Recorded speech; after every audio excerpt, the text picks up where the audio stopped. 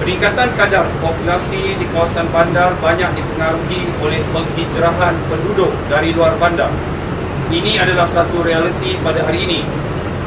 Akibatnya, ia telah mencetuskan masalah serius apabila permintaan perumahan di kawasan bandar meningkat dengan mendadak.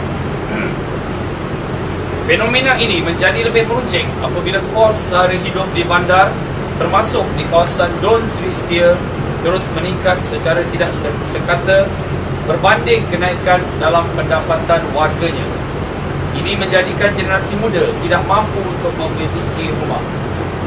Seandainya saya dipilih untuk menjadi wakil rakyat di kawasan ini, antara utamaan yang akan saya beri perhatian serius adalah untuk mengatasi isu perumahan rakyat yang telah lama menjadi masalah yang dihadapi penduduk di sini.